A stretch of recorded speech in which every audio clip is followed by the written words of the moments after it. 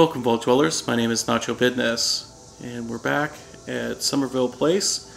And today we're going to cover the trailer home and the cabin that I have built here. If you'd like the full backstory of all the inspirations for this settlement, you can go check out part one. But for today, we're just going to talk about a little trailer and a little cabin that I made. The trailer is out back behind where the traders can come in and trade with the swamp folk that live around here. I've gone and supported the trailer with a shack bridge to try and make it look supported and we'll just pretend that we don't see that edge of the bed clipping through the side of the trailer there. I do wish that I could find a door that better matched the rest of the trailer, but it's still workable at any rate. So there's a, a bed and some storage and a cooking station. I always like to put some Mr. Handy fuel next to these cooking stations to make it look like they have some reason for cooking on a gas stove instead of just open flame. It's a little kitchen area and a seating nook and some storage. So nice little trailer home, not much to it, but I liked the way that it turned out enough that I wanted to show it to you guys. Over here is a log cabin that I built out of the uh, Cabin in the Woods mod by Ethreon. He does a lot of great mods, although you do need to be careful with his updates. From time to time they do move things around in unexpected ways. Nevertheless, it's worth it in my opinion.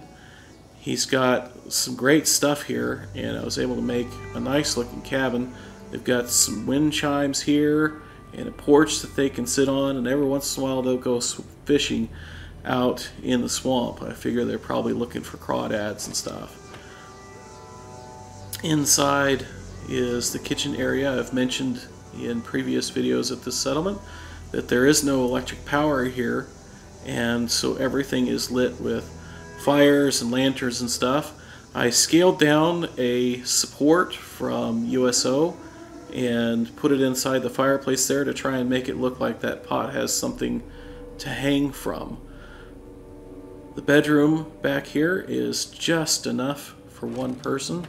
It's got a trunk and a radio to listen to at night, and if the window wasn't in such terrible shape, it would even have a nice view of the swamp to the south. Upstairs is another little seating area at the top of the stairs, as well as a lot of mounted creatures that I thought kind of fit the hunting lodge feel of this place. The now I mentioned I don't like Creation Club. This is out of a mod, not out of Creation Club. Anyways, this also kind of feels like it fits in with the uh, hunting lodge theme of the place. And there's a couple of bunk beds up here. Those are out of the Creative Clutter mod, I think, by Dino. And there's a desk and a typewriter, although the swamp folk are illiterate, so I don't know what they're doing with that. Outside, on the top of this truck over here, this is part of the outer wall of the settlement, but it also is where they tan their hides from creatures that they kill in the swamp. It's got a sod roof on it. Sod roofs actually make a lot more sense in dry environments like the Great Plains, but I don't know, it kind of felt like it, it belonged, so I went with it.